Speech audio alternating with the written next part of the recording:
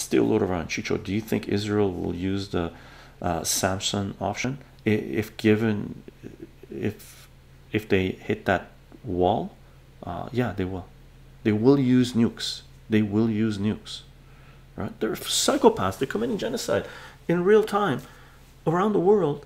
Like everybody's seeing it, right? Televised, and they have to they have to gall to come out and say Palestinians are trying to genocide them.